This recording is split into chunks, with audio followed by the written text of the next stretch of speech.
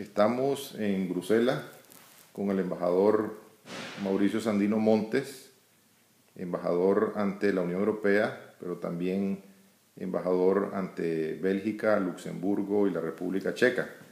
Eh, gracias, embajador, por recibirnos. Eh, queríamos, pues, eh, tomar esta oportunidad para que nos cuente sobre la relación de Nicaragua con la Unión Europea y específicamente los objetivos o las tareas que le han encomendado para estos próximos años. Sí, para mí es un, un, placer tener la, la, la, posibilidad de conversar con usted eh, y, y, comentarle pues, de los trabajos que nosotros venimos realizando. En el caso de la Embajada de Nicaragua en la Unión Europea y siguiendo las instrucciones del presidente Daniel Ortega, hemos estado centrando nuestra relación en, digamos, en dos ejes que para nosotros son importantes. Un primer eje es de ir trabajando para desarrollar los lazos comerciales entre Nicaragua y la Unión Europea en el marco del acuerdo de asociación con, con Centroamérica, de tal manera que nosotros podamos ir aumentando los niveles de intercambio de carácter comercial eh, con los países miembros de la Unión Europea. Obviamente que también están algunos esfuerzos que tienen que ver con una relación política y una relación de cooperación tal y como está previsto en el acuerdo de asociación. ¿Y ese acuerdo entra en vigencia el próximo año? Eh, bueno, eh, eso depende de los plazos y de los momentos que se tengan, ¿no? Porque tiene, tiene, van, en, en, esto entran en juego dos fuerzas, digamos. Por un lado está Centroamérica y por otro lado está la Unión Europea. Eh, hasta el momento lo que se tiene es la rúbrica, ya se ha hecho la traducción a los idiomas oficiales de la Unión Europea, obviamente que el español está ahí, y lo estamos esperando que el colegio de comisarios presente ante, la, ante el Consejo de la Unión Europea eh, el acuerdo pues, para que se firme el mismo. Y hay tres temas, cooperación, política y eh, comercio es una parte comercial, una parte de cooperación de política y una cooperación y, y un aspecto de cooperación, digamos. Esos son los, las tres, los tres pilares que tiene el acuerdo. Y entiendo que el tema comercial es el que pudiera entrar en vigencia antes. El acuerdo, la parte comercial entraría una vez que se dé la rúbrica, digamos. Pues la, la rúbrica una vez que el Colegio de Comisarios apruebe los textos, tiene que convocar a los, a los encargados de Centroamérica para firmarlo. ¿no? Y eso pudiera ser... Eso podría ser, digamos, en el mejor de los casos... Marzo del próximo año. Bueno, noviembre dicen ellos, ¿no? Ajá, de este año. De este año. Yo sinceramente lo veo muy difícil que esto pueda suceder. Probablemente va a ser en el mes de marzo o, digamos, la, la fecha yo, yo diría que la fecha tope debería ser alrededor del mes de junio o julio del próximo año en el marco de la cumbre de la Unión Europea con América Latina. Que se va a realizar, en... Se va a realizar en Chile el próximo año. Y ya entrando en vigencia, ¿qué ganamos? No solo como región, pero específicamente como Nicaragua. Pues mire, en el caso ¿Cuáles son las ventajas comerciales? En, el caso de Nicaragua hay, algunas, hay algunos aspectos que son muy importantes. ¿no? Obviamente que hay, que hay que ver esto como un proceso que nos va a llevar a tener una oportunidad para ampliar y mejorar los lazos, eh, mejor dicho, diversificar los lazos comerciales de Nicaragua. Eh, hay una cuota muy importante que tiene que ver con, con, el plátano, hay una cuota importante que tiene que ver con, con la carne, hay otra parte importante que tiene que ver con, eh, con temas agrícolas, digamos, este, los productos agrícolas de, de, Nicaragua, obviamente la parte del turismo, puede ser desarrollada una parte industrial que debería... El azúcar que producimos tanto en León, en su hay, zona, hay un, acuerdo, creo que es sensible aquí, ¿no? Para que se aumente el nivel de azúcar, pero usted tiene que tomar en cuenta que aquí hay una producción azucarera que es bastante importante. Ellos la protegen mucho. Que es de la parte esta de la remolacha azucarera, ¿no?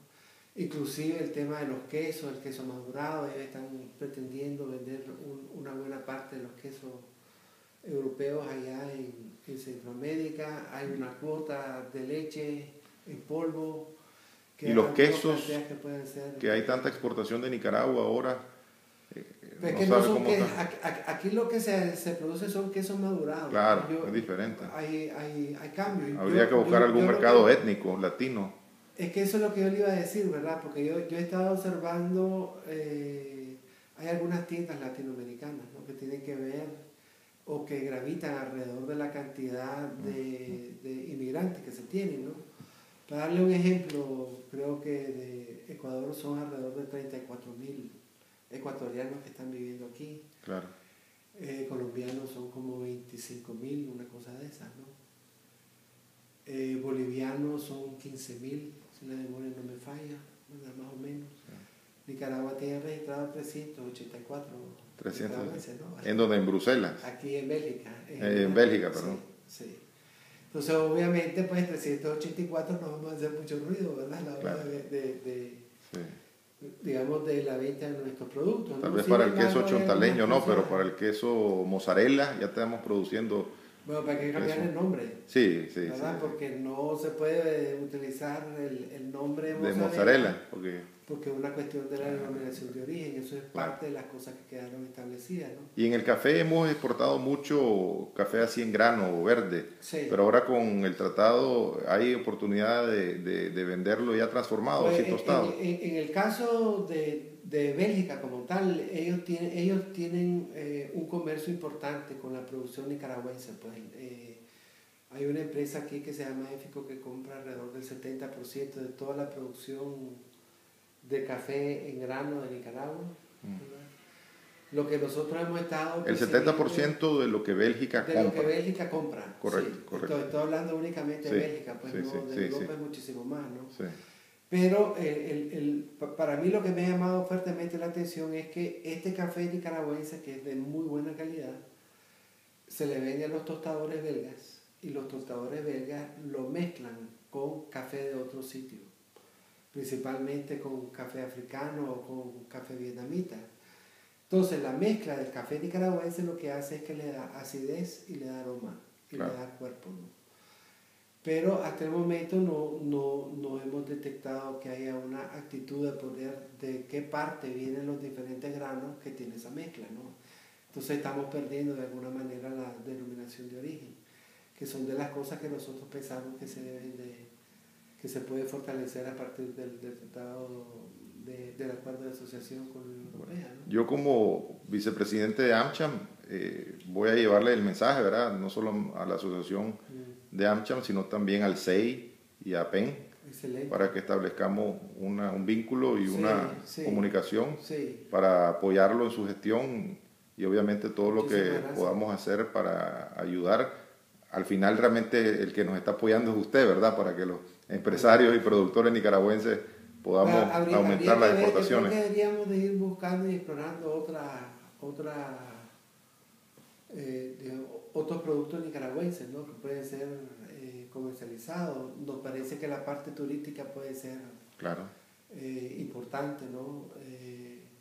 Deberíamos estarla promocionando un poquito más. El conocimiento que pueda tener Europa de lo que es la costa caribe nicaragüense podría ser importante. Y hay algunos nichos de mercado que están un poco descuidados, pues, ¿verdad? Digamos, el, el ron nicaragüense no se ve mucho por aquí. Que, y claro, ahí se tendría mucho potencial, ¿verdad? Y que con- sí. para concluir, embajador, eh, pues quisiera hablar un poquito sobre el tema de la observación electoral, Sí, que tenemos entendido que ya la Unión Europea firmó un memorando de ¿es entendimiento con el Sí. gobierno de Nicaragua. Eh, ¿Usted tiene mayores detalles de la delegación? Eh, ¿Cuántos la conforman? Sí, eh, nosotros tenemos conocimiento de que va a estar conformado entre 90 y 100 observadores, ¿no? Están divididos en dos grupos, lo que ellos llaman la observación de largo plazo y la observación de corto plazo. La observación de largo plazo es que eh, una serie de técnicos que han sido seleccionados entre, digamos, ciudadanos miembros de la Unión Europea deben de trasladarse para Nicaragua, ellos irían a los lugares que ellos consideren convenientes. Estos deberían estar llegando eh, a fi- a finales de septiembre, principios de octubre, si todo va muy bien. Van a estar por el término de un mes y medio, entiendo yo. ¿o No, es, que, el- es- es que la observación, digamos, de largo plazo, según lo que ellos han establecido, va de tres, desde tres meses hasta Ah, un mes y medio, ¿no? de un mes y medio a tres meses. Después la, la, la observación de, de corto plazo